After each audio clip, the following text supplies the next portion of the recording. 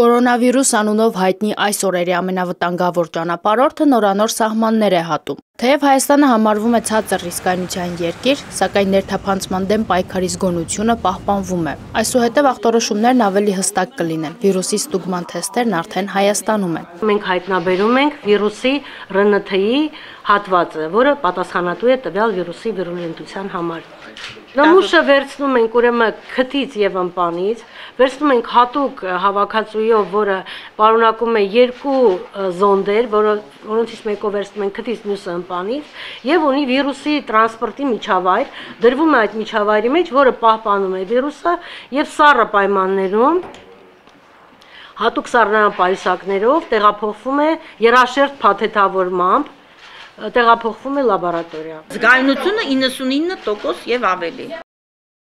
Թեստերն արդեն գործի են դրվել։ Առավոտյան 1 հոգի հետազոտվել է։ Հիվանդը Չինաստանից է վերադարձել, ջերմել է։ Թեստավորման արդյունքները բացասական են եղել։ Կորոնավիրուսի թեստով հետազոտության համար կա մեկ միասնական մոտեցում։ Եթե անձն ունի հիվանդությանը բնորոշ ախտանշաններ, եղել է Չինաստանում վերջին 14 օրվա ընթացքում կամ շփվել է կորոնավիրուսով ու դրան բնորոշ ախտանշաններով մարդկանց հետ, պետք է հետազոտվի։ Հետազոտությունը տևում է 3-ից 4 ժամ հակահամաճարակային իրավիճակի շրջանակներում այս պահին պետք անվճար է այն դեպքերում, երբ որ դա համապատասխանում է մեր ասած ռիսկի խմբին, որտեղից սկսվեց եւ ինչ հետևանքներ արձանագրեց այսպես կոչված չինական սարսափը։ 2019 թվական դեկտեմբերի 31 Չինաստանի առողջապահության համաշխարհային կազմակերպություն գրասենյակը տեղեկացավ Չինաստանի Ուհան քաղաքում անհայտ պատճառներով տարածված թոկաբորբի դեպքերի մասին։ Հունվարի 7 առեղծվածային հիվանդությունն առաջանում է նոր տեսակի կորոնավիրուսից։ Հունվարի 9-ը գրանցվեց կորոնավիրուսի հետևանքով մահվան առաջին դեպքը։